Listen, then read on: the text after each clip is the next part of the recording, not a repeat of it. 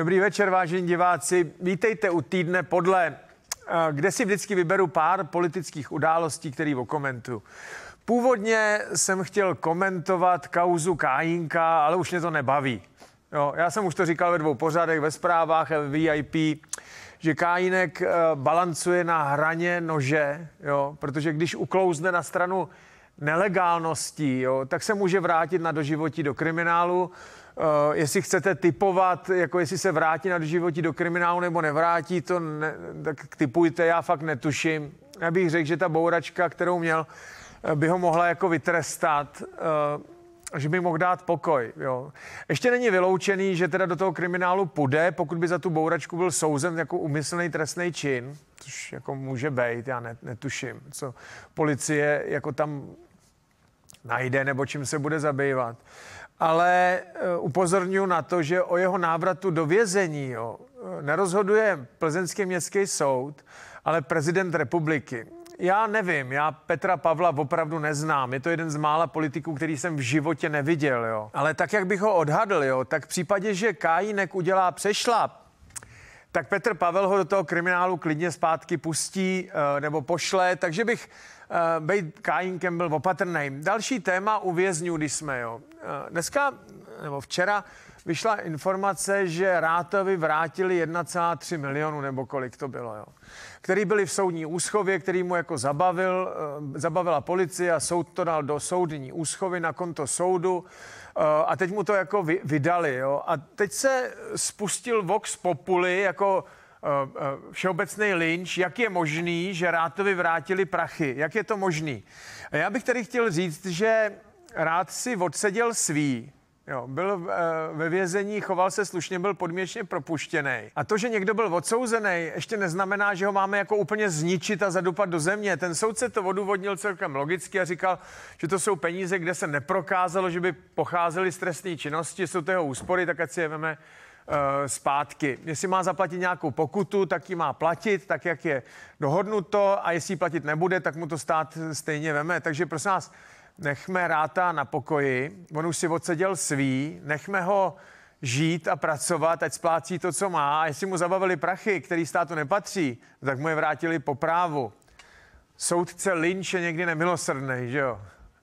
Je to lump a zaslouží si to nejhorší. A kdyby náhodou si nezasloužil, tak je to stejně lump. Víte, co je největší kšeft vůbec za rok 2022? typujete, že energetika, když jsme platili ty nehorázný prachy za, uh, za elektřinu, že ČES bude prostě eh, nejziskovější firma v zemi. Ne, není to tak?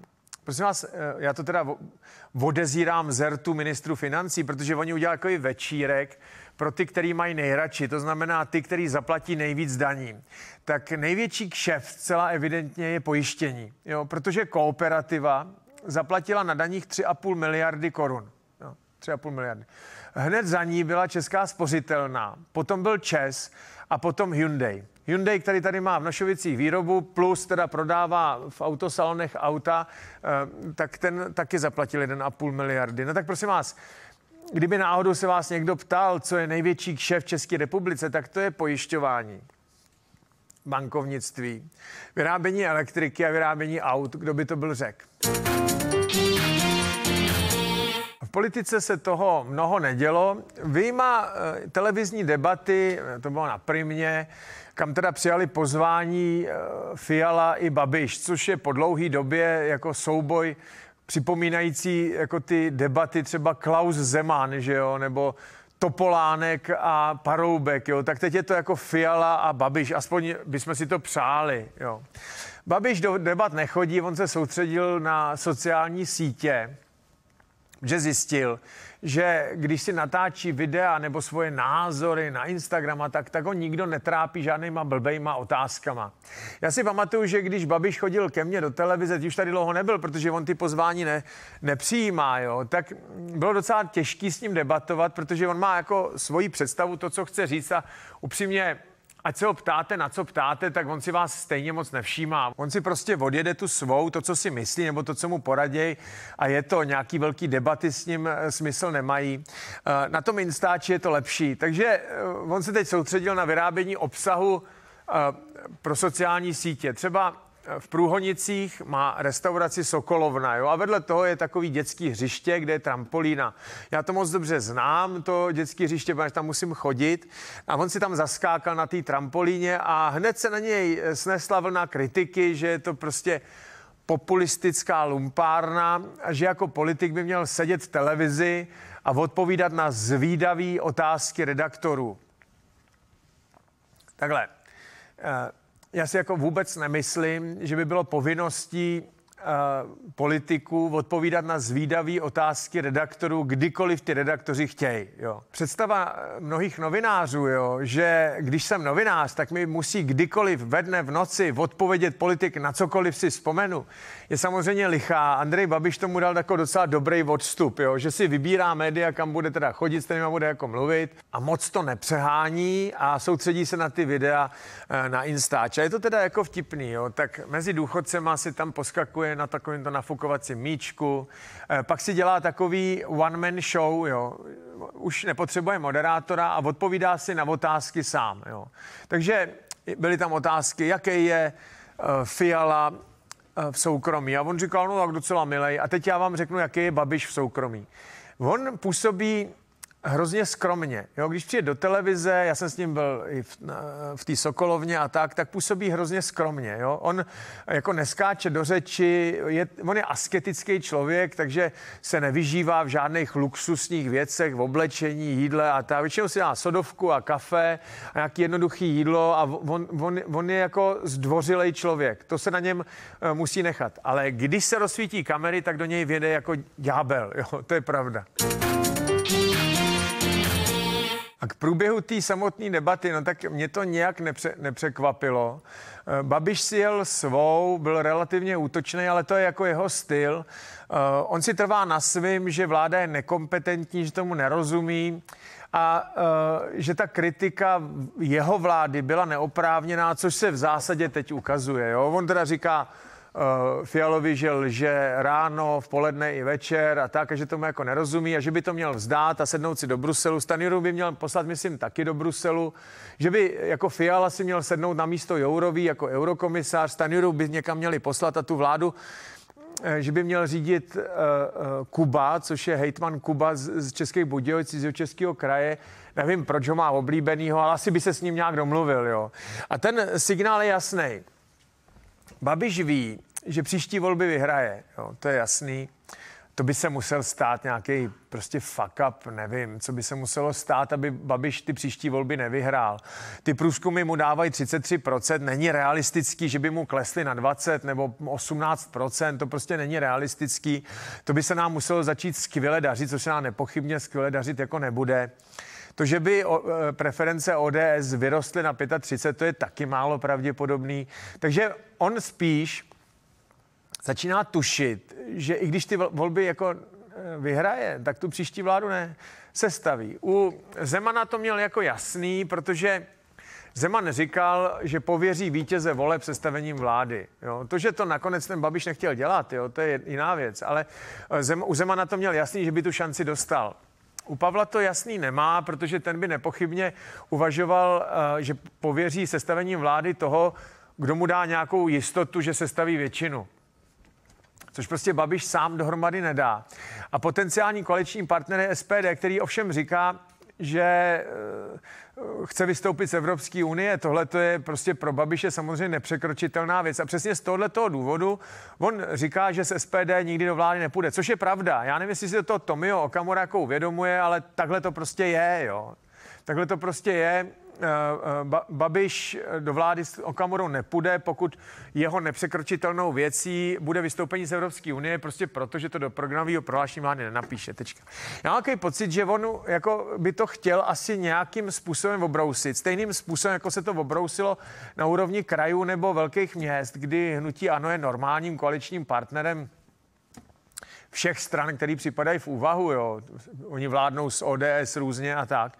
A na té centrální úrovni je, je to podle mě tak, uh, že je to o egu Petra Fialy a Andreje Babiše. Kdyby se to nějakým způsobem podařilo obrousit, třeba s tím hejtmanem Kubou, No tak by to bylo o mnoho jednodušší, protože příští vláda by, by samozřejmě byla ODS a hnutí. Ano, takhle to asi je. Uh, Andrej Babiš se v tomhle odkopal, ale jestli něco Petr Fiala nebude chtít udělat, jo, tak je to tohleto, protože to by znamenalo rozpad koalice spolu. Konec konců Kuba říká, že oni je k ničemu potřebují, to KDU a TOP 09. Že?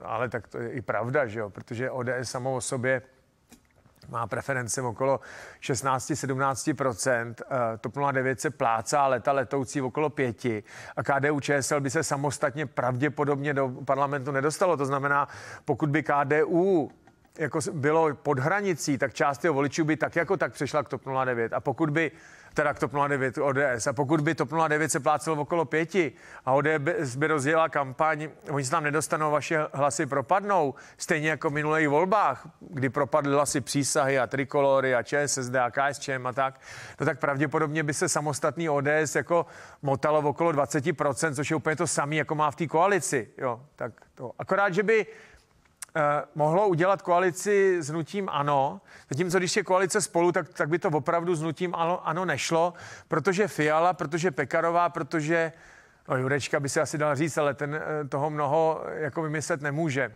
Proto by si přál Babiš v čele ODS hitmana Kubu, který to s ním klidně splácá, akorát se to nestane. A teď jeden komentář. Prosím vás, Eh, problém, který se nevyřeší sám, jo, nestojí za to, aby byl vyřešen. To je známý úřednický pravidlo. Nejlepší eh, je vzít úkol a dát to do eh, kolonky nebo šuplíčku tudu, je potřeba to udělat a tam to nechat být a ono se to většinou nějak jako vyřeší samo. Jo, taky se vám stalo, že jste třeba Eh, já nevím, nějakou tašku spisu někde nechali, pak se na to zapomněli a po dvou měsících jste ji objevili a zjistili, že se po ní nikdo nescháněl, tak to, to, tohle se prostě uh, stává. O čem mluvím? V politice platí to, že jestli chcete něco odhodit do ztracena, tak k tomu zřídíte nějakou vyšetřovací komisi. Jo. Nebo komisi vůbec. Jo. Když nějaký ministerstvo nechce něco udělat, jo, tak k tomu zřídí komisi, která bude zkoumat důvody, jestli to udělat nebo ne. Komise po dvou letech vydá nějaký stanovisko, ale, ten, ale ta věc, která se měla rozhodnout, mezi tím nějak tak jako už, už, už zmizí. Jo, pamatuju si teďkon, řešila se Česká filharmonie na ministerstvu kultury a uh, oni tomu chtějí udělat nějakou komisi a tak, to, což znamená, že se to prostě jako odsune myslím, budovu České filharmonie, že se to prostě odsune na neurčito a, a uvidíme. Jo. Eh, když končil Miloš Zeman, tak bylo velký odhodlání zabývat se hradníma kauzama. Jo. Hradní kauzy bylo, bylo to, že to v okolí prezidenta republiky pravděpodobně nezákonně zacházelo s nějakýma dokumentama, přihrávali si tam různý kšefty, že jo, v oboře Lány a podobně, jmenovali si různý kamarády eh, do funkcí, do kterých jako mohli.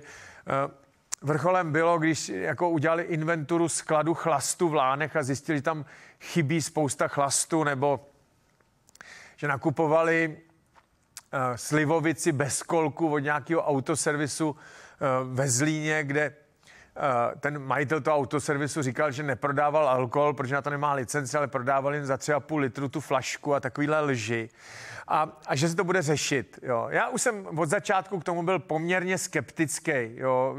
Tyhle ty věci většinou vyšumí, tak eh, teď se to potvrdilo. Myslím vás, oni k tomu chtějí udělat v parlamentu vyšetřovací komisi jo, k hradním kauzám. A když jako k něčemu uděláte vyšetřovací komisi, tak to znamená, že to nechcete řešit. Jo, že to prostě vyprdnete. A ona za dva roky vydá nějaký stanovisko, který už vůbec nikoho nebude zajímat.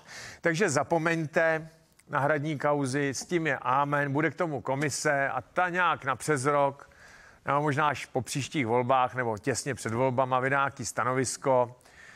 Zapomeňte, žádný minář ani nejedlí se tady řešit nebude. To všechno odnes čas. To by řekl Valdemar Matuška, že jo? Teď komentář ke Zbyňku Stanjurovi. Jo. On má teď za úkol škrtnout výdaje v roce 2023, což je katastroficky těžký, protože to v podstatě už nejde. Jo. On si toho musel samozřejmě být vědomý. No tak co, máte červen, teď, teď přinesete do vlády nějaký materiál a, a ta vám v červenci schválí jako co? Co můžete jako dělat? Propustit lidi? No tak to už nestinete, tak vemte si. Dáte jim výpověď červenci, ona jim běží výpovědní lhůta uh, srpen, září a v říjnu dostanou plat za, za září plus odstupný. No tak dobře, no tak to se vám nevyplatí, protože to odstupný je to samé, co byste zaplatili normálně na mzdy byste ho nevyhazovali, tak tudy cesta nevede. Zrušení nějakých agent, no dobře, ale uh, jako jakých? Většina agent, když někdo dělá něco, nějaký ministerstvo nebo nějaký úřad, no tak je to daný nějakým předpisem, ten předpis musíte zrušit, to prostě fungovat nebude. Zrušení těch dotací asi jo, ale trošku se to zamotává. Snížení platů to asi jde, nějakým způsobem, jako nebo nařídit plošný škrty v úřadech, to asi jde. Ale zcela evidentně k tomu příliš odvahu jako nemá, jo, Stanjura. Takže je vlastně v neřešitelné situaci. On přišel s úsporným balíčkem na rok 2024 a 2025 uh, a doufal, že do té doby se to nějak domluví. Jo, že teď, teď to nebude tak žavý. Akorát už v době, kdy ten ozdravný balíček jako ohlašoval, tak věděl, že ten státní rozpočet za letošní rok je v průseru. Jo, že, eh, což se ukázalo asi za 14 dní nebo za tři týdny, když se ukázalo, že teď máme už 271 miliard. Takže byl donucený k tomu, aby uh, nějaký škrty udělal už letos. Jako proč to neřekl rovnou s tím balíčkem, to já netuším. Spíš si myslel, že se to nějak udělá, jo protože tak blbý na tom ministerstvu být nemůžu, aby netušili, že se řídí tenhle, řídí tenhle ten uh, průšvih. No tak Stanjura to udělal tak, že si musí vybrat jako terč, jo? A zákon uh, jako vlčí smečky uh, je, je nemilosrdný, že jo? Zaútočí se na nejslabší kus. Jo, to, to prostě takhle je když vlci nahání eh, stádo zajíců nebo srnek nebo já nevím koho, no tak samozřejmě se zaměří na nejslabší kus. Řetěz je tak pevný, jak je jeho nejslabší článek. Takhle to funguje. A nejslabší kusy ve vládě se jmenují Langšádlová a Válek. No, takhle, takhle to je. Ministrině Langšádlová je ministrině pro vědu a výzkum, která má za, za úkol nějak zastřešovat a koordinovat podporu pro vědu a výzkum. A teď si jako představte, že Helena Langšádlová, která to nikdy nedělala, že Ona nebyla ani ve vládě, ani, ani není vědkyně, to zná v té komunitě vědců, akademie věd a všech těch jejich ústavů a, a, a grantové agentury a tak nebo vysokých škol, rektorů, vědeckých pracovišť, no prostě všech těch, kteří žádají o různé granty a podporu na vědecké uh, činnosti a teď těch různých center excelencí a tak, což jsou, jsou profesoři a tak, tak nemá vůbec žádnou autoritu. Jim je to úplně jedno. Oni na ní koukají a říkají si, paní Langšádlová, takováhle teta, ale jestli nosí prachy, jestli nám to jako zajistí ty prachy, tak, tak ji tam budeme tolerovat, ale že by se s ní nějak radili, to asi jako těžko. A Stanjura jako zaútočil přímo na komoru, kdy eh, vědě sebral tuším 10%, dokonce myslím 600 milionů, a teď mě nechytejte za slovo, eh, Akademii věd, což tyhle instituce jako ne, ne, neschroupnou, jo? To, to oni jako nevemou, že by se letos škrtalo ve vědě, že mají rozjet nějaký ty projekty a podobně, že by se v tom škrtalo. To oni jako nedovolej v tuhle tu chvíli. Tak oni logicky půjdou, ta komunita vědců za premiérem budou říkat, prosím vás, pane premiére, tohle to jako ne, dřív tady byla rada vlády pro vědu a výzkum, kterou jste řídil přímo vy a pěkně to fungovalo. Teď jste si sem dali tady tu paní Langšádlovou a ono to nefunguje, oni nám, vy nám chcete vzít 600 milionů a on jim řekne, hejte, pane profesore, to je takhle, jo já bych vám to klidně dal, jo, ale víte, je to gestce tady, tady TOP 09, to se mi nezlobte, eh, to po mně nemůžete chtít. A oni mu řeknou, tak prosím vás taky vyhoďte, jak to ministerstvo zrušte. A, eh, a, eh, a vemte si to zase zpátky pod sebe, pane premiére. A on říká, to já nemůžu. A, jak bych to zdůvodnil, to TOP 09 by pak odešlo z vlády jako úplně. No, takhle. Takže vědci s Langšádlovou zametou. Tohle nikdo nikdy nevydrží. Jo. Útok rektorů vysokých škol, akademie věd a, a těch vědeckých pracovišť jako ministr s takhle slabým mandátem jako nevydrží. To neustojí. To samý ten minister zdravotnictví, jo, to je, to je takhle. Eh, ministr zdravotnictví těma lékařema, tou lékařskou komunitu a tak nějak respektovaný není. Jo, to, jim je to jako jedno. On je eh, člověk, který má do zdravotnictví zajistit prachy. Jo, aby ten stroj zdravotnický fungoval. Pokud to nezajistí, tak je špatný ministr. Pokud to zajistí, tak je dobrý ministr. Co si myslí o operaci pankreasu, nebo jestli je léčitelná rakovina toho nebo onoho, nebo jestli tenhle onkologický ústav, ústav je lepší ne, ne, než ten druhý, to prosím vás, té lékařské komunitě je úplně jedno. A co si o tom myslí ministr, je jim úplně jedno. Jo.